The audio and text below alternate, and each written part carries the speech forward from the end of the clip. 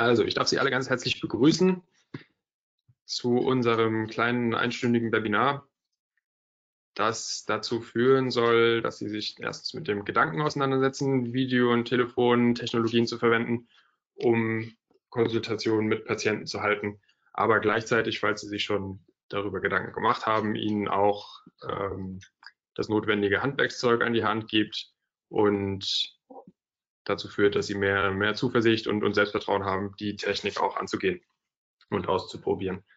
Ich möchte, bevor ich anfange, mich bei der USD bedanken, insbesondere bei Lukas und Elena und David, die dafür gesorgt haben, dass das hier innerhalb von zwei, drei Tagen auch auf Deutsch verfügbar war.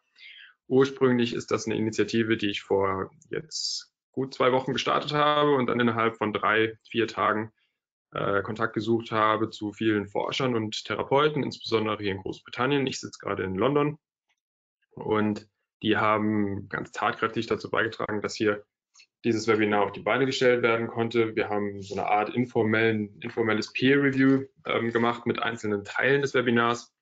Das heißt, das, was ich Ihnen präsentiere, ist nicht nur auf meinem eigenen Mist gewachsen, sondern ist informiert durch die aktuelle Forschung, aber auch durch die durch die Erfahrungen, die Therapeuten damit schon gemacht haben. Und außerhalb von Deutschland ist das schon wesentlich gängiger. Deswegen haben sie da jetzt den, den Vorteil, ähm, den Input hier zu bekommen. Also erstmal vorweg vielen Dank an alle, an alle Teilnehmer und, und Mitwirkenden hier. Es freut mich auch, dass Sie es alle heute so zahlreich geschafft haben. Das kommt auf Sie zu. Ich werde mich nicht lange mit der, mit der Forschungslage aufhalten, sondern es geht mir wirklich sehr darum, Ihnen die ersten Schritte zu erleichtern, das Ganze auszuprobieren Viele von Ihnen haben sicherlich Bedenken und auf die gehen wir gleich ein. Aber hoffentlich ist davon vieles am Ende dieses Webinars beantwortet und vor allen Dingen sorgt, ist dieses Webinar auch Teil von der Idee, Sie miteinander zu verknüpfen. Wir haben also eine, eine Facebook-Gruppe auf die Beine gestellt und eine Ressourcensammlung, die dazu da ist, Ihnen auch dann hinterher beiseite zu stehen und nach dem ersten Mal oder nach den ersten paar praktischen Erfahrungen sich auszutauschen, äh, Patienten zu besprechen, anonymisierter Art und Weise natürlich, sodass sie damit nicht alleine gelassen sind. Bevor wir anfangen, der Hintergrund, den brauche ich Ihnen nicht erklären. Also als ich ähm, die Idee hatte, das zu machen, das war hauptsächlich dadurch motiviert, dass hier in London, das ist die Karte von vor zwei Wochen, die Situation so war, dass eine Spannung bestand zwischen der Frage, soll ich noch in der Praxis bleiben, kann ich dem Patienten hier noch helfen oder ist es inzwischen verantwortungslos, das zu machen. Die Situation hat sich dann, wenn Sie jetzt auf die Karte schauen, im Laufe der letzten zwei Wochen natürlich deutlich verschlimmert. Und auch in Deutschland, selbst wenn die offizielle Empfehlung nicht ganz eindeutig sein mag, denke ich, sind die meisten Leute doch auch davon weg, jetzt hier vom äh, direkt am Patienten zu arbeiten. Und ich war mir dessen bewusst, dass das Ganze für mich als Therapeuten, für meine Praxisinhaberin, bei der ich arbeite, aber auch äh, für die Patienten ein Riesenproblem ist, einfach mangels einer, einer Alternative. Und Videokonsultationen sind jetzt im Moment eine der wenigen Alternativen, die echt die Möglichkeit bieten, für sie selbst, und das sehe ich auch ganz pragmatisch, eine Art Einkommen noch zu erhalten. Gleichzeitig aber auch in einer Zeit, in der es für Patienten selbst mit einem akuten Rückenschmerz schwierig ist, überhaupt noch Kontakt zu, zu Ärzten zu bekommen oder zu Primärversorgern, in der Zeit dann auch die Möglichkeit äh, Patienten bietet, äh, entsprechende, entsprechende, entsprechende medizinische Einschätzung zu bekommen und gleichzeitig vielleicht, das wird gerade in so einem Großraum wie London hier vielleicht wichtig werden, auch dazu sorgt, dazu führt, dass die Leute das dann halt nicht versuchen, gleich zum, zum Hausarzt zu gehen, der auch wahrscheinlich sowieso überlastet ist oder gar nicht in der Lage ist, die Leute zu sehen. Also inzwischen gibt's, stellt sich diese Frage nicht mehr, Praxis oder nicht, zumindest für die meisten. Und äh, in, in, London ist hier alles zu und auch in Deutschland sind die Ausgangssperren ziemlich, ziemlich rigoros. Aber ähm, um wieder auf unser Thema zurückzukommen, warum machen wir das eigentlich nicht schon länger? Und Sie sind jetzt unter anderem hier, weil Sie sich das offensichtlich ja noch nicht ganz äh, zutrauen oder noch nicht damit Experte sind. Deswegen die Frage, was ist Ihre Motivation hier zu sein? Was sind Ihre Bedenken in Bezug auf Videokonsultationen in der osteopathischen, aber speziell auch in der physiotherapeutischen, chiropraktischen Praxis? Also das noch vorweggestellt. Ähm, es dreht sich hier nicht nur um Osteopathen, auch wenn das durch eine Osteopathieschule gefördert ist. aber sondern es, es geht um Manualtherapie und Körpertherapie allgemein. Also wenn Sie jetzt mal die Chat-Funktion wieder nutzen und drauf kurz reinschreiben, was Ihre Gedanken sind. Okay, also wir haben hier schon ein paar Fragen drin. Die Abrechnung ist die Frage, rechtliche Situation, dass es nicht so effektiv sei. Ja.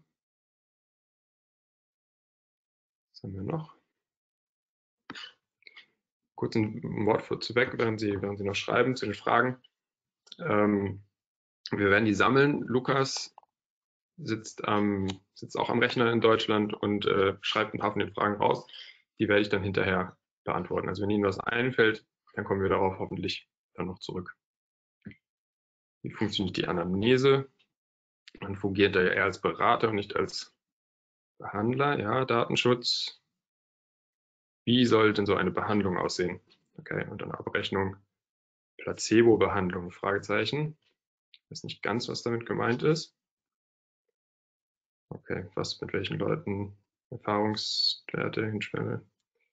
Mein Gesicht verschwimmt immer wieder. Das wäre für eine Telekonsultation sicher ungünstig. Technische Schwierigkeiten, genau, ganz richtig. Okay, super. Also, vieles von dem, was Sie, was Sie hier genannt haben, findet sich auch in der qualitativen Forschung wieder. Wir haben natürlich vorweg ähm, die, die Sicherheitsfrage. Als Primärtherapeuten sind es gewohnt, die Patienten sehen, anfassen zu können, physisch untersuchen zu können. Die reine Qualitätsfrage, kann ich das gewährleisten über eine Videokonsultation, aber dann gleichzeitig auch die, der Zweifel, dass man den Patienten übers Telefon überhaupt helfen kann. Also reicht es, Leute zu beraten. Ich bin ja doch Manualtherapeut. Vieles von dem, was ich mache, ist mit den, mit den Händen. Und das ist was, worauf ich hoffentlich später auch noch mal ein bisschen eingehen werde. Ähm, das ist natürlich die große, große Sorge von vielen, von vielen Therapeuten, die ich Ihnen auch nicht ganz nehmen kann, ähm, die ich jetzt aber vielleicht im Moment zumindest pragmatisch beantworten würde und sagen kann, das ist jetzt tatsächlich eine Komponente, die sonst sehr, sehr wichtig ist, Jetzt im Moment aber halt nicht machbar. Dazu später ein bisschen mehr. Dann haben wir rechtliche Fragen und gleichzeitig das Technische, was eben auch schon angesprochen worden ist. Ja, technische Probleme passieren, aber da wäre mein Kommentar auch zu sagen, dessen muss man sich bewusst sein. Das Problem haben alle Leute, wenn sie im Moment versuchen, ihre, ihre Arbeit online zu erledigen. Und solange man sich dessen bewusst ist und dann auch einen Plan B, Plan B hat, dann kann man das tatsächlich mit einkalkulieren. Und es sollte dem Ganzen kein Hindernis sein. Ein paar Worte vorweg zur Telekonsultation und der Forschungslage dazu. Also ich will Ihnen nicht nur sagen, dass das Ganze eine Möglichkeit ist, sondern hoffentlich auch damit Zuversicht streuen, denn die Forschungslage ist hier tatsächlich relativ positiv. Insbesondere, und das ist das Wichtigste erstmal vorweg, Patienten finden das wirklich richtig klasse. Und Punkte, die die Leute da dann nennen, in, wenn, sie, wenn sie gefragt werden, sind zum Beispiel so Sachen wie, dass sie nicht lange hinfahren müssen, dass sie sich keine Gedanken darüber machen müssen, wer in der Zeit auf die Kinder aufpasst und dass es auch günstiger ist, nicht lange in die Stadt reinzufahren. Teilweise reduzieren Therapeuten dann auch das, den, den Preis. Und es gibt vor allen Dingen dann noch einige Szenarien, in denen es für die Patienten subjektiv eine bessere Art der oder als eine bessere Therapie empfunden wird, dadurch, dass der, dass der Therapeut erreichbar ist und vielleicht auch die Intervalle ein bisschen kürzer sind. Und speziell verglichen mit, äh, mit Face-to-Face, -face, also mit, mit direkten Konsultationen, ist die Patientenzufriedenheit zumindest vergleichbar. Vielleicht äh, leicht in, im Vorteil für, die, für, die Persön für den persönlichen Kontakt, aber durchaus nicht so, dass die Patienten sagen, na gut, wenn es denn unbedingt sein muss.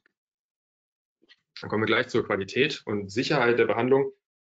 Da befasse ich mich hauptsächlich kurz mit ein paar Studien, die, die sogenannte Vergleichsstudien sind zwischen dem, was normalerweise gemacht wird, also zum Beispiel Physiotherapie in der gängigen Praxis oder dann einem physiotherapeutischen Programm über längere Zeit hinweg, ähm, das, dann, das dann über Video und Telefon ähm, moderiert wird. Gleichzeitig sind da ein paar Studien dabei, die sich mit anderen chronischen Beschwerden auseinander, äh, auseinandersetzen. Und grundlegend kann man sagen, dass in dem, was untersucht worden ist, erstmal keinerlei Anzeichen dafür gibt, dass es schlechtere Ergebnisse gibt oder auch sogar gefährliche Situationen. Das schon mal ist was, wo, wo Sie sich selbst, aber auch den Patienten die Sorge nehmen können. Dann haben wir Studien, die insbesondere bei chronischen stabilen Beschwerden, da reden wir hier gerade von kardiovaskulären Beschwerden und respiratorischen Beschwerden, also nicht unbedingt das, was Sie in der Manualtherapie behandeln würden, äh, sehen. Da sind die Resultate teilweise besser, als wenn die Leute nur Zugang zur, zur normalen Praxis haben. Bei muskuloskeletären Beschwerden, also Beschwerden des Körperapparats, ist es ein bisschen gemischter. Allerdings gibt es da eine große Studie, äh, auf die ich eben schon hingewiesen habe, das ist hier unten Salisbury 2013, 2013, die über sechs Monate hinweg eine physiotherapeutische Konsultation und eine Fernkonsultation miteinander verglichen hat und nach sechs Monaten waren die Resultate gleich in Sachen Rückenschmerz. Ähm, wo es ein paar Einschränkungen gibt, sind dann sogenannte Lifestyle Interventions, also Dinge, bei denen es zum Beispiel nicht nur darum geht, den Schmerz zu reduzieren, sondern auch Gewicht zu verlieren. Da äh, ist das Ganze nicht mehr ganz so eindeutig positiv. Oder da hat vielleicht die Videokonsultation auch Nachteile. Wenn man objektive Kriterien nimmt und schaut, wie ist denn die, wie ist denn die medizinische Versorgung, dann findet da, finden auch da keinen Hinweis, dass in der Videokonsultation Abstriche gemacht werden würden. Und auch wieder eine Vergleichsstudie, ähm, bei der es nur darum geht, eine, eine, physische Diagnose zu stellen bei körperlichen Leiden. Einmal ähm, im persönlichen Kontakt und dann einmal über eine Videokonsultation. Da sind die Untersuchungsbefunde und die vor allen Dingen die, die am Ende stehende Diagnose nahezu übereinstimmt bei unseren Rückenschmerzen.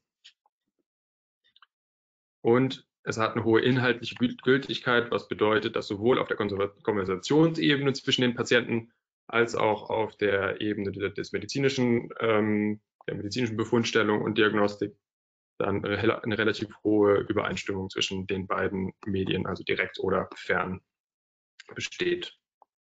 Ja, wie Sie schon gesagt haben, auch viele von den Studien haben darauf hingewiesen, dass es technische Schwierigkeiten geben kann, durchaus.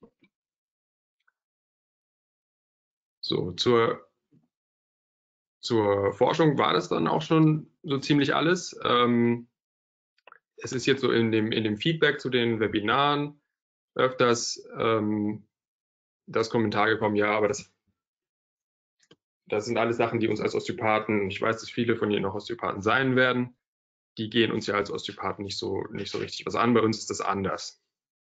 Ähm, ja, die, die Berührung stellt ein wichtiges Element dar in der osteopathischen Praxis, wenn nicht für viele auch subjektiv das Wichtigste. Aber auch sie sind sich dessen bewusst, dass vieles davon nicht unbedingt reproduzierbar ist. Und das bezieht sich auch auf Sachen wie orthopädische Tests. Ähm, und da wäre das Argument im Moment zu sagen, okay, wir können uns darauf jetzt einfach nicht mehr, nicht mehr stützen. Vielleicht müssen wir uns darauf zurückbesinnen, was wir sonst noch so alles machen und uns vor allen Dingen und uns vor allen Dingen in dem, was wir sonst noch machen, verbessern und da jetzt im Moment unseren Schwerpunkt legen. Uns aber auch selbstbewusst damit auseinandersetzen, was wir denn sonst noch alles leisten können. Das wäre so der Geist, in dem ich in dieses Webinar präsentieren würde. Also gar nicht, um Ihnen, um Ihnen die manuelle Praxis schlecht zu reden, ganz im Gegenteil, sondern einfach pragmatisch zu sagen, wir können noch viel, viel mehr. Und vielleicht ist das hier jetzt gerade auch eine Möglichkeit, unseren nicht manuellen Anteil der, der Behandlung zu erweitern, uns darauf zu konzentrieren, was wir alles noch machen können, uns da auch fortzubilden und vielleicht am Ende dann sogar als ein runderer Therapeut, Therapeutin aus dem Ganzen hervorzugehen. So anstrengend und schwierig, wie die Situation gerade ist, denke ich, bietet sie doch Entwicklungspotenzial. So, nach dem kleinen Einschub widmen wir uns dann auch gleich wirklich dem, dem ganz praktischen. Und hier stellt sich erstmal die Frage Video oder Telefon. Da sagen die Leute, die wir, mit denen wir gesprochen haben, die da Erfahrung haben, aber auch die Forschung, Video bietet dann doch nochmal einen Vorteil, einfach weil es eine weitere, weil es eine weitere äh, Informationsebene ist und insbesondere im muskuloskeletären Bereich ähm, nützt es sehr viel, doch auch was sehen zu können, auch wenn es nicht, auch wenn es nicht der hundertprozentige Rundumblick ist, wie wir ihn in der, in der Praxis selbst haben zu Hardware- und Softwarefragen ein paar Hinweise. Zum Beispiel empfiehlt es sich vielleicht äh, zwei, zwei ähm, Instrumente zu haben. Einmal einen Rechner und dann einmal vielleicht am Handy oder auf einer externen Kamera die Kamera. Unter anderem, wenn Sie oder insbesondere, wenn Sie ähm, virtuelle Notizen machen, also digitale Notizen machen, ähm, um zum Beispiel auch das Tippgeräusch zu reduzieren. In Sachen Software ist die grundlegende Frage, nehme ich was, äh, was ich auch verwende, um mit meinen Großeltern zu kommunizieren oder nehme ich, was, nehme ich eine professionelle äh, Lösung? Da gehen die meisten nicht professionellen Sachen tatsächlich recht gut, haben aber so ein paar Nachteile. Eins davon wäre, dass sie zum Beispiel keinen Warteraum haben, was sie bei anderen äh, professionelleren Lösungen verwenden können. Also das heißt, dass der Patient dann unter Umständen einfach auf ihrem Bildschirm auftaucht oder sie den wegdrücken müssen, wenn sie gerade noch keine Zeit haben. Das ist dann vielleicht nicht ganz so elegant und es, und es, und es äh, ermöglicht ihnen vielleicht auch nicht, das Ganze rund einzuschließen in ihre, in ihre anderen digitalen Patientenakten. Der erste Schritt ist erstmal, ist erstmal ähm, ein bisschen äh, nicht furchterregend, aber, aber respekteinflößend. Und natürlich würden Sie das Ganze nicht, nicht einfach so erstmal starten und morgen früh gleich eine Telefonkonsultation organisieren, sondern Sie würden darüber nachdenken, wie das in Ihren gesamten Praxisablauf reinpasst.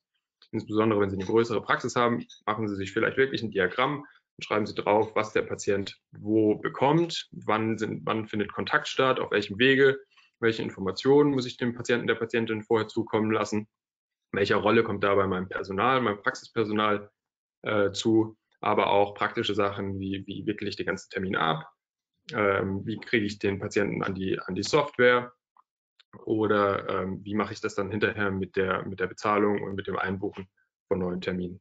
Das ist sehr, sehr individuell, je nachdem, wie Sie Ihre Praxis aufgebaut haben und was Patienten bei Ihnen sonst bekommen. Insofern da nur der Hinweis, machen Sie sich vorher Gedanken und natürlich fangen Sie das Ganze nicht erst gleich, nicht nur am Patienten an, sondern probieren Sie das erstmal an einem Kollegen oder einem Familienmitglied aus.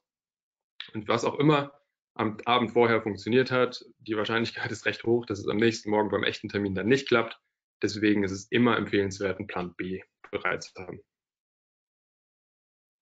Also bevor es losgeht, vor der ersten Konsultation, schauen Sie, dass alles da ist, was Sie brauchen. Damit meine ich nicht nur die technische Ausrüstung, sondern wenn Sie zum Beispiel viel mit, mit Übungen arbeiten, auch entsprechendes Übungsmaterial und ähm, gleichzeitig aber auch, dass Sie, dass Sie Zugang zu den Patientennotizen und so weiter haben. Ihr Arbeitsumfeld ist da jetzt ein bisschen anders. Das ist unter Umständen Ihr Schlafzimmer oder Ihr Wohnzimmer. Ähm, das sieht der Patient und entsprechend wollen Sie natürlich auch dafür sorgen, dass es, äh, dass es da gut aussieht oder halbwegs vernünftig aussieht genauso wie mit ihrer körperlichen Erscheinung, insbesondere in, in Isolation, wie die meisten sich hier gerade befinden, ist der Trend dann ja doch eher zur Jogginghose. Die können sie sich vielleicht noch erlauben, aber obenrum äh, sollte das Ganze auf jeden Fall professionell aussehen. Und auch nicht nur das, die Wahrscheinlichkeit ist recht groß, dass sie die eine oder andere Übung vormachen. Also seien Sie sich dessen bewusst und stellen Sie sich darauf ein. Genau. Unterbrechung vermeiden. Bei mir ist es jetzt äh, 20 nach 7. Normalerweise halte ich die Webinare auf Englisch um 8 Uhr. Das ist auch Schlafenszeit von meinem Sohnemann. Deswegen bin ich jetzt gerade hier sehr bewusst, dass er jeden Moment um die Ecke kommen kann. Äh, gerade so ein Vierjähriger wird nicht mal von einem, von einem Wachhund äh, ferngehalten. Also unterbinden Sie, wenn es irgendwie geht, Unterbrechung. Das Bild hier ist aus einer, ähm, von, einer, von den Abendnachrichten im BBC vor, vor ein paar Jahren. Da sind die beiden Kinder des äh, zugeschalteten Experten reingerannt. Und dann kam die ähm, kam eine Dame auf allen Vieren hier reingekrochen und hat versucht, die rauszuschleppen, was ein riesen YouTube-Hit geworden ist.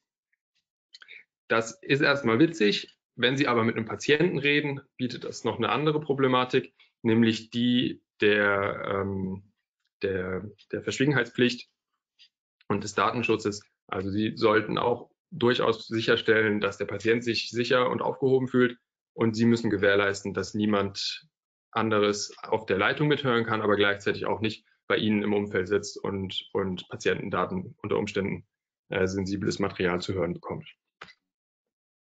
Während der Konsultation selber geht es viel um, um Detail. Erstmal fangen Sie die nicht einfach so an, sondern Sie nehmen sich vorher Zeit, ähm, auch die Patientenakten durchzuschauen.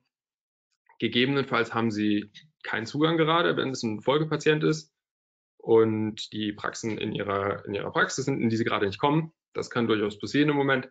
Dann müssen sie das sagen und unter Umständen oder den Patienten darauf vorbereiten, dass es doch nochmal zehn Minuten länger dauert, weil sie die Erstanamnese nochmal für ihre Dokumentation machen müssen.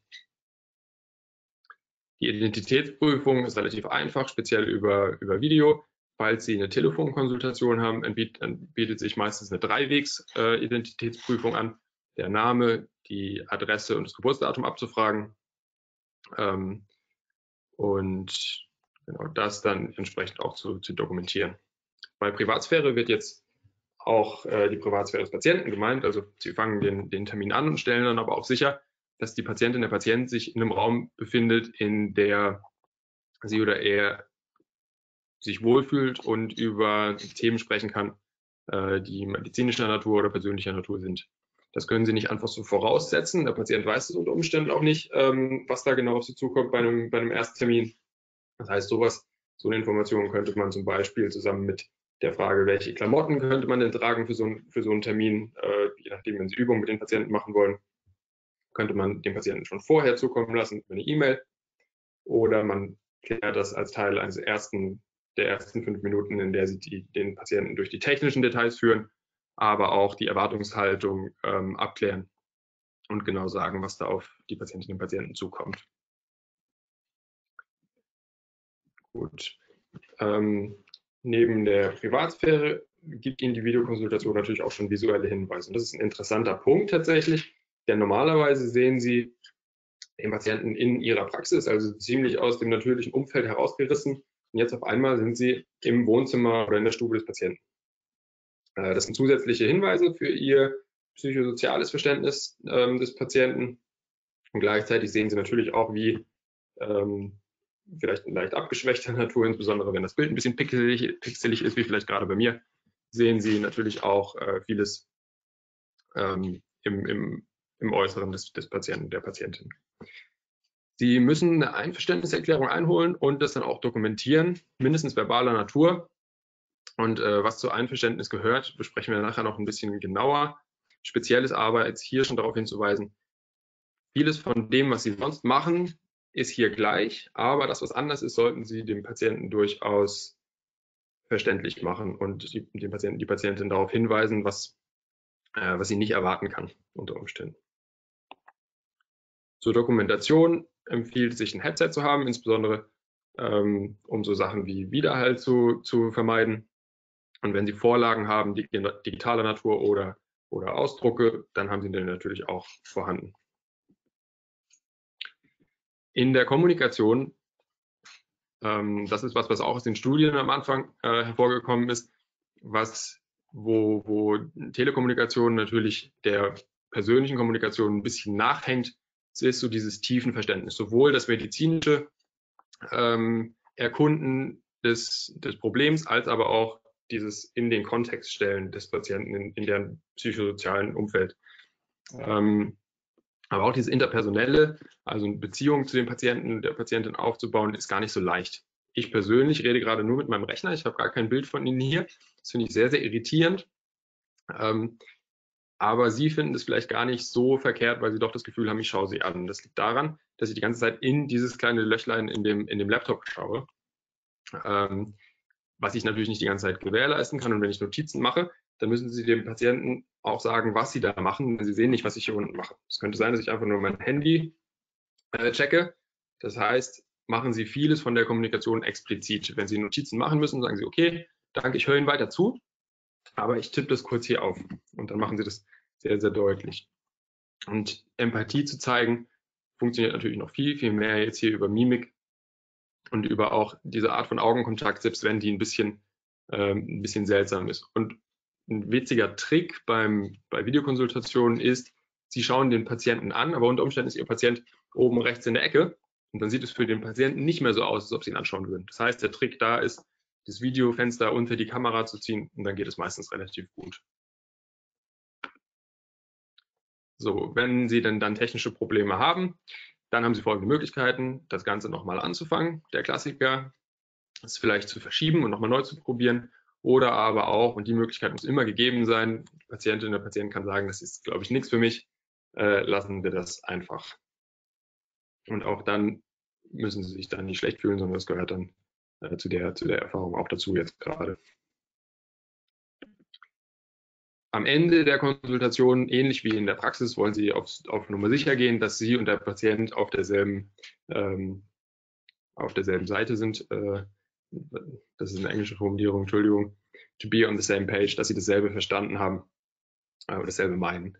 Das heißt, lassen Sie sich die Ergebnisse bestätigen von, von dem Patienten unter Umständen zusammenfassen oder verwenden Sie Fragen offene Fragen, ähm, ob die Erwartung des Patienten erfüllt worden ist oder ob es noch offene Fragen gibt. Dann klären Sie so Praktikalitäten wie auf welchem Wege wollen, sollen Nachsorgenachrichten äh, zugelassen werden. Rufen Sie nochmal an, schreiben Sie eine E-Mail e oder eine Textnachricht. Was ist da das bevorzugte Medium? Und dann notieren Sie das natürlich auch. Und gleiches dann für Folgekonsultationen, auf welche Art und Weise sollen die stattfinden. Haben Sie dafür alle notwendigen Kontaktdaten? Das ist auch so ein Ding bei, bei Videokonsultationen insbesondere nicht professionelle Software benötigt doch relativ viel hin und her, um die entsprechenden Kontaktdaten ausgetauscht zu haben. Bei professionellen Sachen funktioniert es meistens sehr, sehr elegant mit einem einzigen Link. So, und den Anruf zu beenden, äh, klingt, erstmal, klingt erstmal ziemlich einfach, aber auch da gibt es äh, Studien, die gezeigt haben, dass das ganz schön viel versauen kann, wenn das in die, wenn das in die Hose geht. Wenn Sie also einfach auflegen, weil Sie der Meinung sind, okay, das äh, war's jetzt und auf Wiedersehen und tschüss, und auflegen und der Patient aber nicht so ganz dieses selbe Gefühl hatte, dann kann das sehr, sehr abrupt wirken und ähm, der Patient kann sich ein bisschen abgeschnitten vorkommen, was dann äh, einen Nachgeschmack lässt, der unter Umständen die gesamte ansonsten gute Konsultation in den, in den Schatten stellt. Also auch da wieder der Hinweis, machen Sie das möglichst explizit, indem Sie sagen, indem Sie vielleicht nochmal zusammenfassen, was wir jetzt gemacht haben, wie Sie verblieben sind, ähm, Fragen ermöglicht haben und dann sagen, gut, ich glaube, dann haben wir jetzt das Ende unserer Konsultation erreicht. Ich werde Sie, wie, wie, wie besprochen, in drei Tagen anrufen und ähm, Sie machen bis dahin das, was wir gerade besprochen haben. Ich lege dann jetzt auf. Ich wünsche Ihnen noch einen wunderschönen Tag und auf Wiedersehen. Ich drücke jetzt auf den roten Knopf. Und dann können Sie das machen. Und dann äh, kommt das Ganze nicht als Überraschung. So, nach der Konsultation äh, wir gehen natürlich davon aus, dass es innerhalb von den nächsten äh, paar Wochen ähm, geschäftiger wird. Dann haben Sie unter Umständen die eine oder andere Videokonsultation nach der anderen. Wie in der Praxis empfiehlt sich da ein bisschen Verwaltungszeit zu lassen, insbesondere wenn Sie halt keinen virtuellen Warteraum haben und sich auf den nächsten Patienten vorzubereiten, zum Beispiel indem Sie die Notizen durchsehen. Nachsorgekonsultationen sind was, was ein bisschen anders ist als in der, in der Tagespraxis. Viele von Ihnen rufen unter Umständen Patienten an und klären ähm, Fortschritte ab. Das ist aber eher unüblich, soweit ich weiß. In der ähm, Videokonsultation bietet sich das an, denn vieles von dem, denn alles, was Sie in der Konsultation selber machen, wird erstmal nichts verändern an dem Patienten. Das ist unterschiedlich oder das ist ein großer Unterschied zu der hands-on manuellen Therapie, bei der zumindest eine kurzfristige, eine kurz, kurzfristige Schmerzlinderung doch, doch häufig und als, und als ähm, erster messbarer Effekt eintritt. Nichts davon ist in der Videokonsultation zu erwarten, was bedeutet, dass ähm, Sie, aber auch für den Patienten, die Patientin die Möglichkeit offen halten wollen, den erwarteten Fortschritt möglichst engmaschig und zeitnah zu überprüfen. Aber auch, weil Sie sich natürlich jetzt viel mehr auf, äh, auf Ratschläge und, und Selbstmanagementprogramme verlassen müssen in Ihrer Therapiewahl, ähm, wollen Sie sicherstellen, dass sie da den Patienten nicht drei Wochen lang mit was alleine lassen, was für die Person jetzt nicht so funktioniert oder wo vielleicht noch Fragebedarf besteht, sondern ähm, rufen Sie an, klären Sie, was, was funktioniert hat, was nicht so gut geklappt hat, aber auch, ob die Symptome sich wie erwartet verändert haben. Das sollte nicht aus heiterem Himmel erfolgen, sondern machen Sie zumindest klar, an welchem Vormittag, Nachmittag Sie sich melden werden, auf welche Art und Weise. Und viele Leute äh, empfehlen oder viele Leute verwenden das als Teil dieses Erstpakets. Also das lässt sich dann halt auch für die, für die Werbung in Anführungszeichen verwenden, dass es eben nicht nur eine einmalige Videokonsultation ist, sondern eher so, eine, so ein längerfristiges Management. Gut, dann kommen wir über, dann kommen wir zu den, zu den medizinischen Fragen. Nämlich die Frage erstmal, ist dieser Patient, die Patientin gerade überhaupt ähm, jemand, den ich über Videokonsultation betreuen sollte?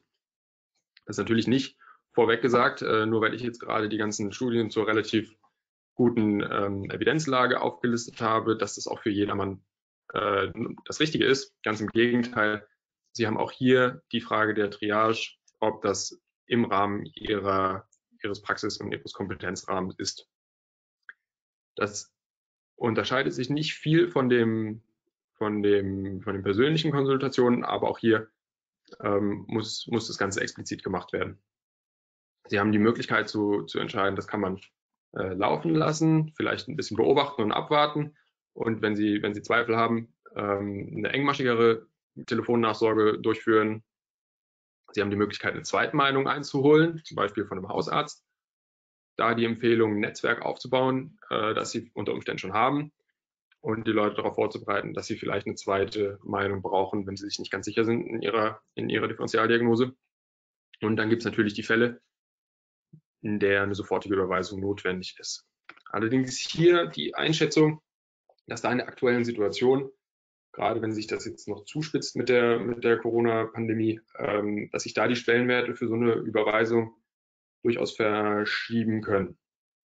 Äh, wo Sie vielleicht vorher gesagt hätten, okay, das, da ist mir jetzt dann doch mal eine Zweitmeinung lieber, da unterscheidet sich jetzt oder da hat sich vielleicht die, die Kosten-Risiko-Abwägung in den letzten Wochen verändert. Insofern, als dass Sie nicht jeden wieder gerade in England hier in die Notaufnahme schicken wollen oder auch viele Leute, insbesondere aus Risikogruppen, überhaupt den Weg nach draußen oder insbesondere den Weg zum Arzt möglichst unterlassen sollten. Also da ähm, unterscheidet sich vielleicht gerade Ihre eher vorsichtige Überweisungsentscheidung momentan ähm, und, und äh, Sie nehmen da vielleicht ein bisschen mehr hin. Das allerdings ist nichts, was Sie alleine entscheiden sollten, sondern das ist was, was im Gespräch mit mit dem Patienten äh, evaluiert werden sollte. Also Sie sollten da ganz klar machen, was hier die, wie die, wie die Situation ist, was, was die Befundung angeht und was Sie normalerweise machen würden, dass Sie dann zum Beispiel in solchen Fällen vielleicht auch gleich eine Zweitbehandlung einholen würden. Jetzt aber in der aktuellen Situation auch die Möglichkeit zur Verfügung stellen würden, dass Sie einfach in ein, zwei Tagen nochmal anrufen und, und gucken, ob sich das Ganze dann verändert hat. Das ist was, wozu der Patient einwilligen muss und was sie dann auch entsprechend, äh, entsprechend dokumentieren wollen.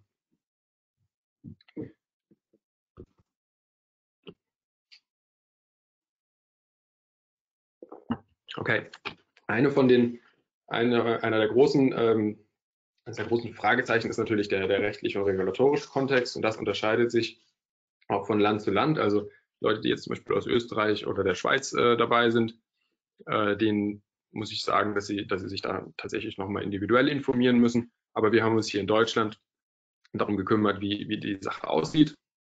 Und der VOSD äh, ist einer der wenigen Vereine, der hier überhaupt eine Einschätzung ähm, dank Frau Elena Gerke gemacht hat, was die rechtliche, die rechtliche Situation an, anbetrifft.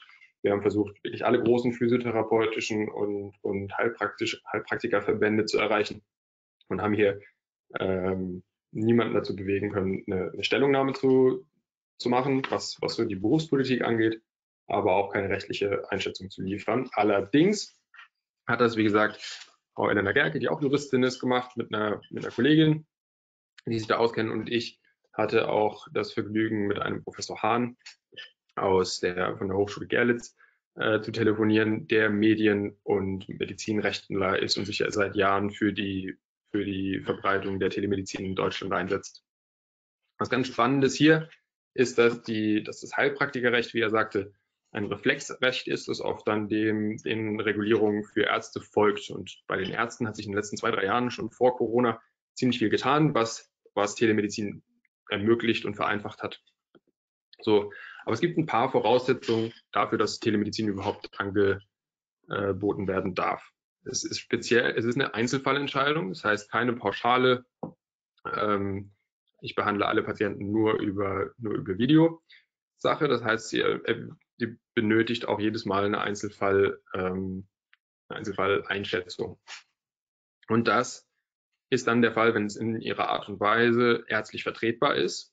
Das ist also eine medizinische Einschätzung, die dann eine ärztliche Sorgfalt gewährleisten muss. Und das bezieht sich auf die Art und Weise, wie sie ihre Befundung machen, aber auch auf die Art und Weise, wie sie beraten, wie sie behandeln und wie sie dokumentieren. In der Aufklärung gibt es ein paar Besonderheiten, die, wie ich eben schon gesagt habe, hauptsächlich darauf hinauslaufen, dass es, äh, dass über die Besonderheiten einer ausschließlichen Teleberatung und Behandlung hingewiesen werden muss. Und diese ganze, dieser ganze Rechtsrahmen bezieht sich explizit auf den unbekannten Patienten. Also es geht hier nicht um Leute, die Sie schon mal in der Praxis persönlich getroffen haben, sondern es geht wirklich darum, jemanden, den sie noch nie gesehen haben, nur digital zu betreuen. Das ist inzwischen im ärztlichen Recht möglich in Deutschland. Und die Erwartung ist, aber das ist keine, das ist keine, ähm, Das ist keine Garantie, ist, dass das Heilpraktikerrecht da auch folgt. Aber im Moment sieht der Rahmen für Heilpraktiker so aus, dass es keine entsprechende Regelung gibt, aber deswegen wahrscheinlich die analoge Anwendung derselben ärztlichen Grundsätze zur, ähm, zur Anwendung kommt. Und es gibt ein paar Hinweise, dass sowas machbar ist, speziell auch mit der Abrechnung. In der Gebührenverordnung für Heilpraktiker gibt es eine Ziffer, in der Sie auch eine Beratung mit einer kurzen Untersuchung per Fernsprecher ähm, abrechnen dürfen. Und äh, ich nehme an, dass der Fernsprecher inzwischen auch das sogenannte Laptop-Gerät beinhaltet. Was die Abrechnung ansonsten angeht, gibt es ähm, keinen, keinen Grund zu vermuten, dass es insbesondere als Privatleistung abgerechnet ein Problem sein sollte. Ähm, aber auch da der Hinweis, vielleicht setzen Sie sich da lieber mit dem, mit dem jeweiligen Versicherer kurz auseinander. Nach dem äh, BGB kommt immer ein Behandlungsvertrag äh, zustande.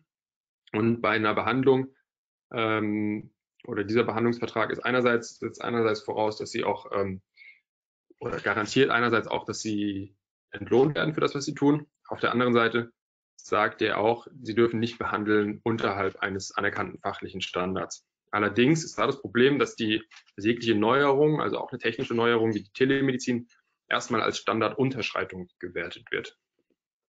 Aber auch hier darf vom Standard abgewichen werden, sofern das konsultiert, also in, in Übereinstimmung und in Absprache mit dem Patienten erfolgt.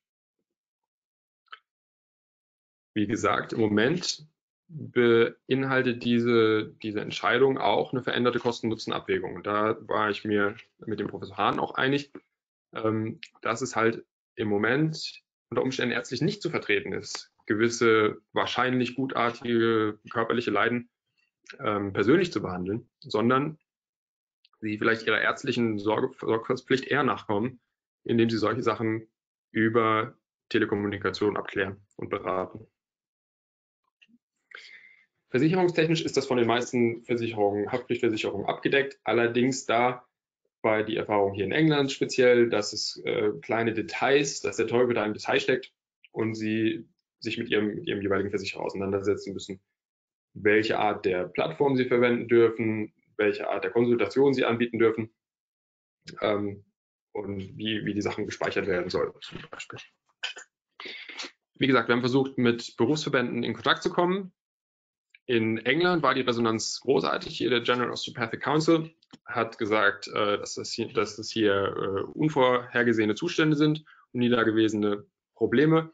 Also was auch immer die Therapeuten machen können, um die Praxis am Laufen zu halten und einen guten Service für die Patienten zu bieten, das sollten die auch einfach machen.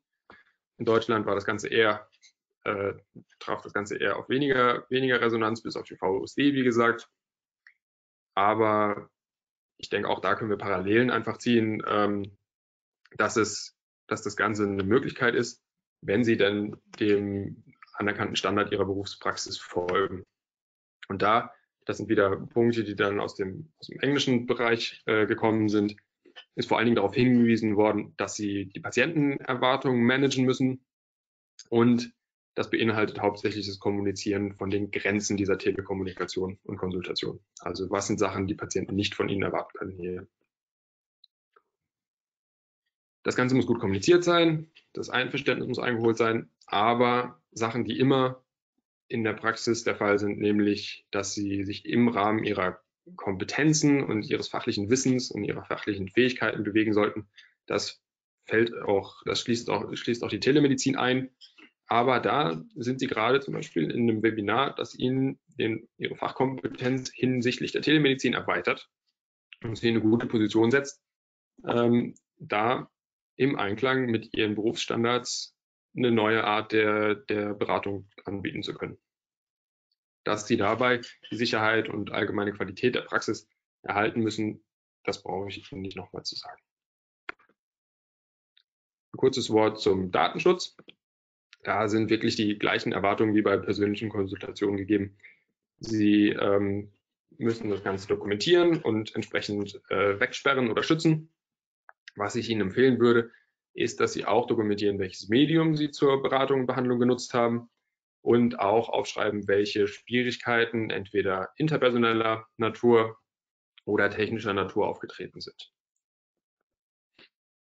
Ein weiterer wichtiger Hinweis ist, dass die Art und Weise, wie Sie vielleicht dann schriftlich mit dem Patienten kommunizieren, wenn Sie zum Beispiel auch eine Erklärungs-E-Mail nach der Behandlung schreiben oder nach der Konsultation schreiben, dass das keinesfalls dann tatsächlich äh, Patientennotizen ersetzen kann. Also SMS und E-Mails ersetzen das nicht. Sie brauchen immer noch Ihre gute Patientennotizführung. Nun bieten, bieten insbesondere Videokonsultationen auch zusätzliche Möglichkeiten, wie zum Beispiel die der Aufzeichnung. Das ist wieder was, wo Sie jetzt in der Lage sind, ähm, einen neuen Nutzen zu erfahren oder einen neuen Vorteil anbieten zu können, äh, wo wir wahrscheinlich vorher versucht haben, nicht mehr als zwei oder drei Übungen dem Patienten zu geben, weil wir uns sicher waren, dass das sowieso nicht im Gedächtnis bleibt oder nicht gemacht wird. Da besteht jetzt die Möglichkeit, dass der Patient ein gesamtes, ein vollständiges Übungsprogramm aufzeichnet, das sie unter Umständen vortouren und äh, das dann einfach auf Abruf wieder zur Verfügung hat. Wenn Sie, wenn Sie das schaffen, dann sorgen Sie dafür, dass der Patient, die Patientin es selbst aufzeichnet. Das setzt Sie dann nicht unter in die Situation, das Ganze, die Daten zu schützen, schützen zu müssen. Falls Sie allerdings doch aufzeichnen, dann muss das Ganze auf einer verschlüsselten Festplatte, idealerweise einer externen Festplatte, also nicht dem Familiencomputer gespeichert sein. Oder Sie verwenden professionelle Online-Software, die das normalerweise auch gewährleistet im Rahmen mit diesen GDPR-Standards. So, dann machen wir weiter mit dem Einverständnis in der Telekonsultation. Einverständnis ist nicht einfach nur ähm, eine, eine, Sache, die Sie am Anfang schriftlich kurz auf einen Zettel drucken und dann abhaken. Ich weiß, dass viele Leute in der Praxis machen, sondern es ist erstmal ein Hin und Her zwischen dem, zwischen dem Patienten. Hier empfiehlt sich insbesondere in dieser neuen, für uns auch als Therapeuten neuen Situation, am Anfang Dialog zur Einführung ähm, zu, zu verwenden, indem Sie Patienten, die Patienten darauf vorbereiten, was da auf sie zukommt und dann natürlich über den gesamten Verlauf der, der Behandlung, der Untersuchung und Beratung die Patientin mit einbinden durch aktives Zuhören, durch Zusammenfassen und Fragen stellen. Genau, das haben wir schon besprochen. Wenn Sie, ähm, Sie sollten auf jeden Fall den, den Kontext setzen und den Kontext auch erklären. Also was ist hier der, der Rahmen in Sachen Datenschutz? Was gewährleisten Sie? kann irgendjemand anders hier noch zuhören oder sind Sie auf einer, das sollten Sie sein, sind Sie auf einer verschlüsselten, ähm, sind Sie auf einem verschlüsselten Kanal, kann jemand mithören, sind Sie, sind Sie allein im Raum, das sieht die Patientin oder der Patient nicht, Sie sehen nur das, was hinter mir ist, da könnte meine Großfamilie noch sitzen. Das sind Dinge, die Sie vorher explizit klären sollten. Und Sie sollten auch offenlegen, wenn Sie, wie gesagt, nicht Zugang zu den Patientendaten haben derzeit. Auch wichtig ist, und da ist es auch wieder einfacher bei Videokonsultationen, dass der Patient die Möglichkeit haben soll, die, die, die Konsultation zu jedem Zeitpunkt zu beenden. Das ist hier einfacher, weil, sie, weil die einfach auf den Knopf drücken könnten. Das ist vielleicht einfacher, als aus der Praxis hinaus zu laufen. Aber die Möglichkeit sollte immer bestehen. Und wie gesagt, sie, sie nehmen den Patienten an der Hand und erklären, was schrittweise auf sie zukommt.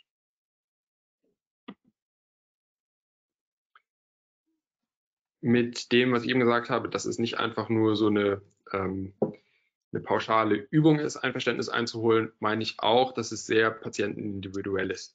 Also es geht auch um die Frage, was ist jetzt für den Patienten, der vor mir sitzt, im Moment kontextbezogen wesentlich und wichtig. Das gehört dann auch schon zu ihrer Therapie und zu dem, was wir vorhin über Empathie gesagt haben. Es geht hier nicht darum, dass sie sich in eine Art, in eine Art äh, Callcenter verwandeln, das dann möglichst viele Patienten am Tag durch, durch, ähm, durchlotst, sondern die Kunst besteht dann bei der Telekonsultation doch darin, trotz des Mediums oder gerade dank des Mediums eine Beziehung zu den Patienten aufzubauen. Dazu gehört auch, diejenigen in ihrem psychosozialen Kontext zu verstehen. Also zum Ablauf eines Einverständnisses, wie gesagt, das sollte über die über die Behandlung hin fortgeführt werden, an einzelnen Behandlungsstellen, auch im, im, in der Manualtherapie generell. Es sieht so aus, dass dann die Therapeutin hier in dem Fall den Patienten bei jeder Technik oder bei, bei allem, was vorgeschlagen wird, über Vorteile, Risiken und Alternativen abklärt, aber auch über die Möglichkeit, nicht zu behandeln und damit einhergehend äh, den natürlichen Krankheitsverlauf ähm, aufzuzeigen. Wie das, was ist denn die normale Erwartung, wenn hier nicht behandelt wird? Da sollte vor der ähm, Anamnese und Untersuchung Einverständnis eingeholt werden, verbaler Natur, aber dann auch mindestens vor der Behandlung. Und das Ganze, ähm, die wichtigsten Einverständnispunkte und die Diskussion, die damit einhergeht, sollte aufgezeichnet werden. So, kurz ein paar Slides zur Untersuchung und zur Behandlung. Da will ich Ihnen keine hundertprozentigen klaren Antworten geben. Das ist eine sehr, sehr individuelle Sache. Aber Sie werden feststellen, dass Sie vieles davon schon, schon können, vieles davon auch schon verwenden, gerade was die, was die Behandlung angeht, in Anführungszeichen. Und bei der Untersuchung ist das Ganze wirklich nicht anders als in der, in der Praxis, abgesehen davon, dass Sie Ihren Palpationssinn nicht zur Verfügung haben. Aber vieles von dem, insbesondere medizinischen Screening, wird sowieso durch die Anamnese gemacht. Was hier wichtiger ist, ist auf die Red Flags einzugehen und da keine Ambiguität zuzulassen. Also wenn Sie sich nicht ganz sicher sind und denken, ah, in der Praxis würde ich das jetzt nochmal noch mal nachfühlen oder sowas, das geht hier halt nicht. Das heißt, ähm, fragen Sie da wirklich so lange nach, bis Sie sich sicher sind, was, was hier Sache ist und dokumentieren Sie das entsprechend auch. Sie können ein paar von den Tests verwenden, die Sie auch sonst in der Praxis verwenden, insbesondere äh, Muskeltests, aktive Muskeltests. Das müssen Sie dann erklären, was auf den Patienten zukommt, vormachen und Sie müssen auch ähm, die Patienten darauf hinweisen, was denn die körperliche Reaktion, also es könnte Schmerzen verursachen, was die Reaktion sein könnte. Und dann, wie auch in der, wie auch in der Praxis, erwägen Sie dann je nach Befund, ob die Beratung weitergehen sollte oder ob das hier so ein Fall ist, in dem Sie ähm, doch weiterverweisen müssen an, an eine direkte persönliche Konsultation. Bevor wir zur Behandlung kommen, möchte ich den Rahmen setzen dahingehend, dass wir das Ganze jetzt nicht einfach nur so machen, sondern in, in einer totalen Ausnahmesituation. Jeder von uns hat damit, glaube ich, gerade zu kämpfen. Jeder von uns schätzt, ähm, schätzt seine, seine persönliche Freiheit jetzt ein bisschen mehr als vorher und weiß, dass das Ganze auf die, auf die Psyche einen Einfluss haben kann. Da gab es gerade ein interessantes Paper in der Lancet, das sich mit den psychologischen Einflüssen von Quarantäne auseinandergesetzt hat und wie die dann speziell reduziert werden können. Und Sie sind jetzt in einer Situation, in der Sie unter Umständen mit Leuten telefonieren, die Ihnen entweder schon vertrauen oder die anfangen, Ihnen Vertrauen zu schenken, weil Sie sich persönlich und medizinisch mit denen auseinandersetzen. Also seien Sie sich dessen bewusst, dass das Ganze hier jetzt noch weniger körperlich ist, als es in der Praxis eh schon oft der Fall ist, sondern dass die psychologische Komponente eine viel, viel wichtigere Rolle spielt. Und speziell da bei Leuten in Quarantäne sind sie vielleicht so, wie sie früher die erst die einzigen waren, die mehrere, die über mehrere Wochen eine ältere Person mal angefasst haben oder so. Sind sie jetzt vielleicht eine der wenigen, die längere Zeit ähm, über Video mit dieser, mit dieser Person verbringt. Und wenn Sie schauen wollen, wie der Einfluss der Quarantäne auf den psychischen Zustand ist, dann empfiehlt es sich zu untersuchen, ob der Patient versteht, was denn überhaupt hier von, vonstatten geht. Also um diesen, diesen Einfluss zu verringern, ist es wichtig, dass, dass Leute verstehen, warum das notwendig ist gerade. Da sollten Sie speziell als Therapeut, als Heilpraktiker nicht der Versuchung erliegen, ähm, ähm, Fehlinformationen unter Umständen oder aber auch nur Spekulationen zu, zu streuen, sondern Sie sollten sich wirklich auf das verlassen, was das Gesundheitsamt und das Robert-Koch-Institut da im Moment äh, verteilt. Denn je mehr Unsicherheit da dann besteht, äh, desto weniger ist unter Umständen dem Patienten geholfen. Insbesondere, wenn man gerade nichts an der Situation ändern kann.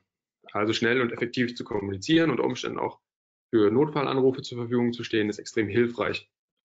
Und gleichzeitig, wenn Sie es schaffen, mit Ihrer Beratung, mit Ihrem Gespräch und aber auch mit den Übungen, die Sie unter Umständen geben, die Langeweile zu reduzieren, dann ist das auch ein wichtiger, wichtiger Punkt.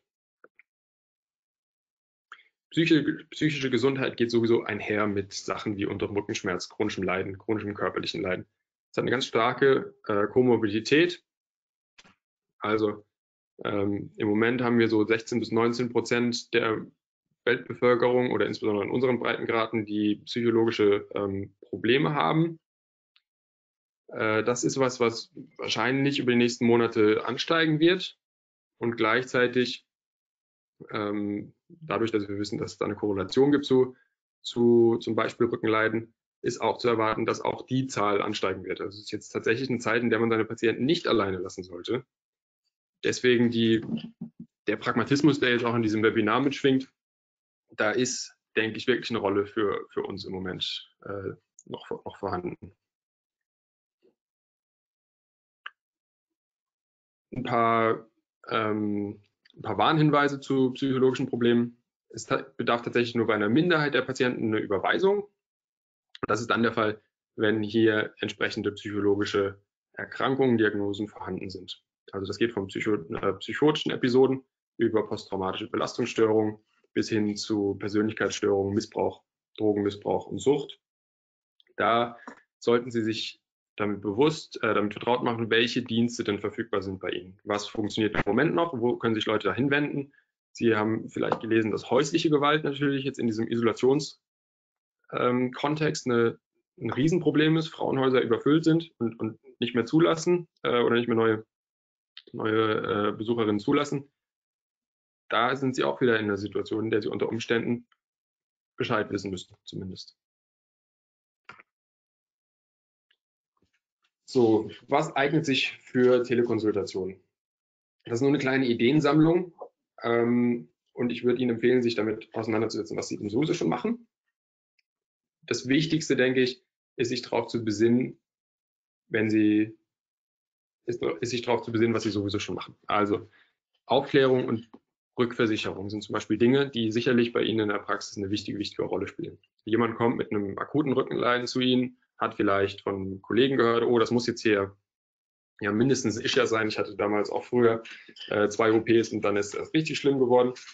Unter Umständen spielt da ganz, ganz viel Angst mit bei so akuten Schmerzleiden, aber auch bei chronischen Schmerzleiden spielt vielleicht jede Menge pathologisierendes Verhalten ähm, oder pathologisierende Diagnosen, nicht zuletzt von Kollegen von uns, äh, die eine, eine wichtige Rolle, die Patienten in eine Situation versetzt haben, dass sie meinen, eigentlich nichts mehr an ihrer Situation zu ändern, ändern zu können, katastrophieren und der, und der Überzeugung sind, dass das Ganze hier nur noch viel, viel schlimmer werden kann.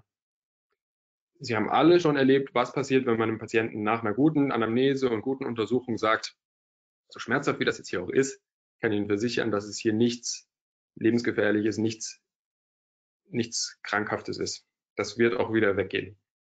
Das an sich, diese Aufklärung und die Rückversicherung bei Aufklärung natürlich dann noch ein bisschen mehr elaborieren und erklären, wie es zu sowas kommen kann. Das an sich ist schon wirklich großer Wert und ist ein Teil ihrer, ihrer Therapie.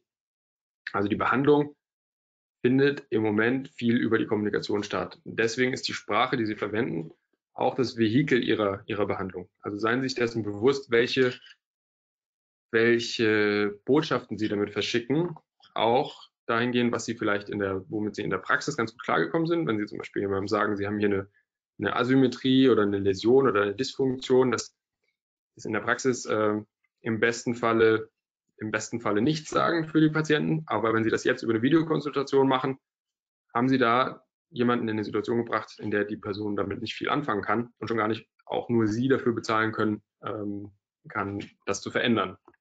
Das heißt, äh, versuchen Sie Sprach, Sprache zu verwenden, die nicht pathologisiert, also nicht eine Erkrankung oder ein Problem aus etwas macht, sondern versuchen sie Möglichkeiten und Selbstmanagement und gutartige Verläufe in den Vordergrund zu rücken. In Sachen Techniken in Anführungszeichen geht das von Entspannungstechniken, Achtsamkeitsmeditationen, die Sie unter Umständen anleiten können, bis hin zu Psychologie, psychologisch orientierten Interventionen, also Gesprächs- und Verhaltensinterventionen, aber, und ich denke, da haben viele von Ihnen, insbesondere wenn Sie einen physiotherapeutischen Hintergrund haben, dann Ihren Schwerpunkt ist das Verschreiben von Übungen. Ja, zugleich ein kleines bisschen mehr. Aber ich will noch mal kurz auf diese Rückversicherung eingehen. Wie gesagt, auch aus der Überzeugung, dass das jetzt im Moment eine ganz, ganz wichtige, ein ganz, ganz wichtiges Werkzeug unserer Praxis ist. Reassurance oder Rückversicherung wird oft aufgeteilt in eine affektive, also eine emotionale Komponente die sich dann auf, auf Empathie und diesen Rapport, also die zwischenmenschliche Beziehung zwischen Behandler und, und äh, Patient bezieht. Und gleichermaßen gibt es dann eine kognitive Komponente. Da geht es eher darum, fachlich aufzuklären, Informationen zu bereitzustellen und, und aber auch Informations, ähm, für, für Selbstmanagement zu geben. Da sieht so aus, dass wenn wir anschauen, welchen Effekt das Ganze klinisch hat, dass die affektive Rückversicherung die Patientenzufriedenheit erhöht, also die Leute gerne zu ihnen kommen, sagen, es ist ein ganz toller Therapeut oder Therapeutin, aber es hat nicht so richtig einen Einfluss darauf, ob sich äh, die, die Symptome verändern und es hat auch nicht zur Folge, dass die Leute weniger Behandlung brauchen. Das ist eher bei der kognitiven Rückversicherung der Fall. Allerdings bedingen sich die beiden gegenseitig. Also es geht nicht darum, dann zu sagen, die emotionale Komponente ist nicht so wichtig. Ganz im Gegenteil, es scheint so zu sein, dass die affektive Rückversicherung die kognitive Rückversicherung verstärken kann. Also das ist nett zusammengefasst in dem Zitat, People do not care what you know until they know that you care. Also die wissen, es ist denen egal, was sie wissen, was du als Therapeut weißt, solange sie nicht wissen, dass es dir wichtig ist mit ihnen. Die Empfehlung hier rein praktisch ist zum Beispiel die, den Anfang der Konsultation auf affektiver Rückversicherung aufzubauen, also Empathie zu zeigen, ähm, nachzufragen, was, was das emotional mit dem Patienten macht und dann den, den zweiten Teil oder insbesondere das Abschlussgespräch eher auf einer kognitiven, auf einer kognitiven Ebene zu fahren, sodass das eine das andere bedingen kann. Dann zu dem zweiten Punkt, was, was Sie machen können. Weiß, dass viele dann auf Übungen zurückgreifen werden, sicherlich. Da gibt es diverse Plattformen, Online-Plattformen oder, oder Programme, Apps. Manche von Ihnen haben vielleicht dazu schon, ähm, haben da schon ein Abonnement. Wenn Sie das haben, dann ist jetzt die Möglichkeit, äh, da das Beste draus zu holen. Ansonsten gibt es jede Menge an kostenfreien Möglichkeiten, da, dem Patienten was zukommen zu lassen, von der Möglichkeit, selber Dinge aufzunehmen, bis hin zu, zu YouTubes, YouTube und Playlisten, die Sie da selber erstellen können. Und hier in England haben wir bei der Recherche zum Beispiel das NHS Fitness Studio gefunden, wo Sie kostenfrei Zugang auf jede Menge von Übungsklassen und, und äh, Kräftigungsklassen haben. Da würde ich Sie in Deutschland einladen, ähm, Ihre Erfahrungen bei uns in der, in der Facebook-Gruppe oder in dem, ähm, in dem Excel geteilten Excel-Sheet äh, zu, reinzuschreiben. Aber bevor wir zum Schluss dieses äh, Webinars kommen, ein kurzer Hinweis dahingehend, dass es auch natürlich um Sie geht. Wir sind alle selbst, die meisten von uns sind Freiberufler. Das ist sowieso eine Situation, in der man gerne mal in Zeiten arbeitet, in denen man es eigentlich nicht mehr machen sollte oder zu Tageszeiten. Jetzt im Moment natürlich vor einer extrem schwierigen Wissenschaft, äh, wirtschaftlichen Situation stehend, ist es wahrscheinlich noch so wichtig, umso wichtiger, einen disziplinierten Arbeits- und Ruheplan einzuhalten. Gerade wenn Sie auf Videokonsultationen setzen, der Vorteil für den Patienten, dass sie in, dass nur ein kurzer Weg bis zum, bis zum Therapeuten ist, ist unter Umständen für sie ein Nachteil. Da würde ich empfehlen, das vorweg zu kommunizieren, dass sie halt für den Patienten da sind, aber auch nicht mitten in der Nacht und auch nicht unbedingt äh, auch am Sonntag oder sowas. Also kümmern Sie sich um, um, sich selbst. Wir dürfen hier in England noch einmal, äh, einmal am Tag für irgendeine Art des Sports hinaus. Das sollten Sie auch durchaus äh, in in Anspruch nehmen, wenn sie das auch dürfen, äh, entspannen, gut essen, schlafen, aber auch sich äh, sozial mit anderen Leuten über Telemedien äh, auseinanderzusetzen, die ihnen, die ihnen wichtig sind und die unter Umständen ihnen notwendigen Halt in dieser nicht ganz einfachen Situation bieten können. Aber ich will mit einem positiven Kommentar aufhören. Wie gesagt, Sie haben sich gerade mit etwas auseinandergesetzt, was Sie und ich auch nicht vor ähm, vor ein paar Wochen noch, äh, noch in Erwägung gezogen hätten. Und ich hoffe, dass Sie gesehen haben, dass da vieles dabei ist, was, wo, wo Sie Ihren, Ihren Praxishorizont erweitern können. Sie haben sicherlich ein paar Abstriche. Ich will es gar nicht in Abrede stellen, dass, dass die manuelle Komponente uns allen fehlen wird. Ich freue mich tierisch auf meinen ersten Hands-on-Patienten hinterher. Aber bis dahin lassen Sie uns das als Möglichkeit sehen, uns als Therapeuten und uns als Berufsgruppe weiter zu, weiterzubilden und weiterzuentwickeln und ähm, die, die Medien und Telekommunikation da als Möglichkeit zu sehen. Da können Sie zum Beispiel Teil unserer, unserer Lerngruppen werden. Ähm, wie gesagt, das Ganze ist offen und ohne irgendwelche Profitgedanken. Sie können sich das Webinar nochmal anschauen, das wird gerade aufgenommen und ist dann über die USD verfügbar, aber auch über ähm, die, das University College of Osteopathy, deren Websites. Sie können sich mit mir über Twitter verbinden gerne. Und hier unten steht noch ein Podcast, äh, den ich an Mitte der Woche mit einem ähm, aufgenommen habe.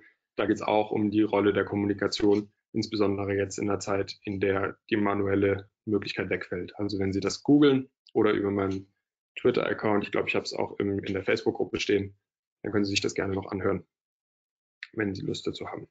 Dann, bevor wir zu den Fragen kommen, möchte ich mich bei, nochmal bei allen, bei allen Teilnehmern, aber auch bei den Leuten, die an der Gestaltung mitgewirkt haben, bedanken. Und hier fürs Video als auch für Sie zu Hause sind die wissenschaftlichen Referenzen. Wenn Sie da was brauchen, bitte sagen Sie Bescheid. Und dann gehe ich jetzt hier mal in den Chat oder würde es auch öffnen für Lukas und Kollegen, ähm, was denn an Fragen angefallen ist durch über den Zeitraum der Video, der, des Webinars hier. Ja, schönen guten Abend auch von mir. Ich habe äh, die Fragen fleißig durchgegangen und habe ein paar zusammengeschrieben. Es wurden noch nicht so viele gestellt, die noch nicht beantwortet wurden im Verlauf des Webinars. Ähm, eine, die häufig gestellt wurde, war die Frage nach den Programmen. Also welche Programme sind zu empfehlen mhm. bei der mhm. Nutzung von und Telefonkonsultationen. Ja, also ich denke so, manche Sachen kennen Sie schon. Skype hat dann oft das Problem, dass, ähm, dass, das, dass die Qualität hakt. Äh, Zoom ist im Moment sehr im Kommen. GoToMeeting hat, soweit ich weiß, auch äh, diverse Angebote im Moment, weil, weil die Situation schwierig ist. Ähm, das heißt, da könnten Sie unter Umständen mit, einem, mit, einem, mit einer kurzfristigen Registrierung ohne Kosten wegkommen. Langfristig lohnt es sich, sich mit professionellen Sachen auseinanderzusetzen. Ähm, ich weiß, dass da in der Facebook-Gruppe schon viel Diskussion gelaufen ist. Ähm, Kenne mich mit den deutschen Programmen selber nicht, nicht aus. Ähm, ja. Also ich habe hier Okay. Ich glaube, vielen ist es noch nicht so, viele haben noch Gedanken, glaube ich, was hier, was die, was die, das Wegfallen der körperlichen Komponente angeht, wenn ich das richtig sehe. Ja, also geht es darum, nur eine Anamnese zu stellen und dann den Patienten an andere Stelle zu verweisen oder zu beruhigen? Oder ist hier eine Placebo-Behandlung? Geht es eher um psychische Anteilnahme? Ähm, also vielen, genau, Ausführung, der diagnostische Handgriff also noch anleiten, welche Möglichkeiten hat der Osteopath und wie soll die Behandlung inhaltlich aussehen. Wie gesagt, ich würde es, ich würde es wirklich Ihnen selbst überlassen zu gucken, was, wo Sie, womit Sie sich auch sicher fühlen. Wenn Sie, wenn Sie nie Übungen verschrieben haben, ist das jetzt vielleicht äh, nicht der Moment, sich einfach was auszudenken, sondern entweder ähm, setzt man sich damit vorher auseinander und, ähm, und, und bildet sich da kurz, bildet sich da selbst weiter äh, oder man verwendet, ähm, man verwendet Hinweise und Empfehlungen, die man, die man vorher schon verwendet hat. Ob das an Meditationen ist oder Ernährungsaufklärung, äh, Bewegungsgeschichten. Das bleibt Ihnen, das bleibt Ihnen überlassen. Also vielleicht äh, okay. hilft's. Ja. Noch was, Lukas? Ja, eine weitere Frage, die noch häufig äh, gestellt wurde, war das Thema Abrechnung. Also in welcher Form rechne ich mhm. Telekonsultation Mhm. Geht es da um die Form oder um den, um den Preisrahmen? Weißt du, kannst du das einschätzen? Nicht gefragt, aber wahrscheinlich ist ja auch interessant. Es geht in die Abrechnungsform, ja. Also, Moment, ich probiere das gerade ein bisschen lauter zu machen. Also, zum Preisrahmen, da gibt es so zwei Schulen. Die einen würden sagen, das ist nicht so viel wert wie das, was ich in der Praxis mache. Äh, insbesondere, wenn man der Meinung ist, dass vieles dann doch über die manuelle Komponente läuft. Andere sagen, das ist meine Zeit, ich bin gut dazu ausgebildet. Und auch da wieder mein Hinweis, machen Sie sich dessen bewusst, was in so eine Behandlung alles von Ihnen mit reinfließt an Fachwissen und an differenziell diagnostischer Fähigkeit. Das ist, denke ich, durchaus auch sein Geld, sein Geld wert. Also die andere Schule sagt dann, meine Zeit ist genauso viel wert, wie wenn ich die persönlich in der Praxis mit Leuten äh, verwende. Aber so als Erfahrungswert reduzieren die meisten Leute ihren, ihren Standardtarif einen schönen Abend.